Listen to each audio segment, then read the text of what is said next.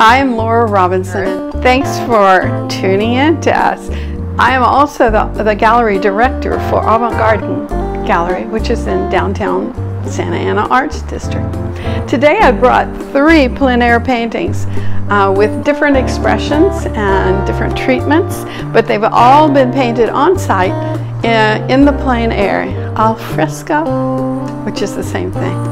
The first one is Reflections, and it is uh, from Mission Viejo Lake. And the second one is, and it's called Reflections. This one is called um, Bolsa Chica Sunset, and of course it's Huntington Beach. This one is Laguna Beach Sunrise. You can see the treatments, all three of them are quite different from one another, but uh, they're all done with great pleasure because the wind is blowing, the sun is beaming down on you, and very quickly you have to capture the image. So, there you have it. I hope that you've enjoyed this and I hope you will come to see us at Showcase Gallery.